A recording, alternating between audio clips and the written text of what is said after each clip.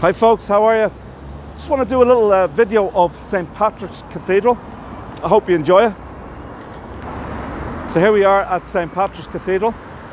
St. Patrick's Cathedral was founded in 1191 by Archbishop John Comyn.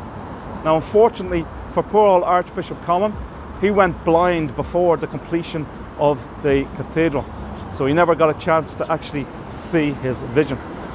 Now this is the largest and the tallest of uh, any cathedral here in Ireland and also it is the national cathedral of Ireland. It's also an Anglican cathedral. Now um, also the cathedral is run by a senior cleric or dean if you like and the most famous of these deans was Jonathan Swift.